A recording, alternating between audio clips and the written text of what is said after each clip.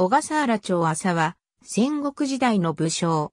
信濃小笠原氏当主。小笠原清宗の子。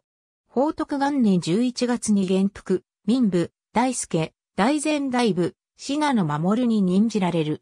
文明5年、室町幕府旧大将軍、足利義直就任後初の三代肉武士、花の御所で犬大物を興行した際に奉行を務めた。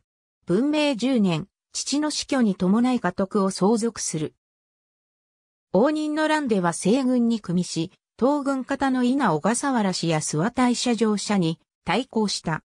文明12年には、諏訪大社下社の金指氏と結んで、西名森直を穂高川で破るが、翌13年に西名氏が頼った諏訪氏に敗れた。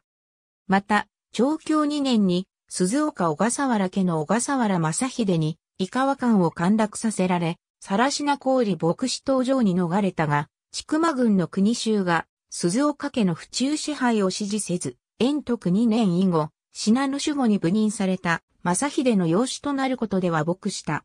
明王元年、十代将軍、足利義種の命により、六角高頼政党に出兵した。明王2年、正秀が松尾家の小笠原上記に暗殺されると、孫の小笠原長宗の代まで対立した。文紀元年没、去年59。法名は、トール総制限。ありがとうございます。